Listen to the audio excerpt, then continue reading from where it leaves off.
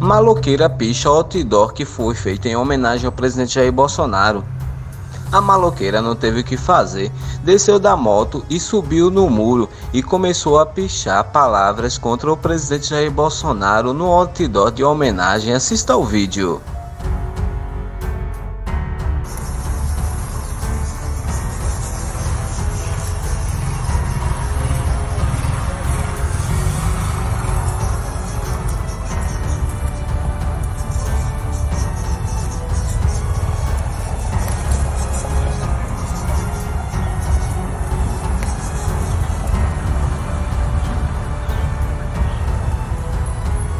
A turma da lacração comunista não existe democracia. Eles não suportam ver a imagem do presidente sorrindo nos outdoor e ficam com raiva e inveja e tentam destruir as homenagens feitas ao presidente. Isso é... E aí, o que você achou dessa maloqueira pichadora?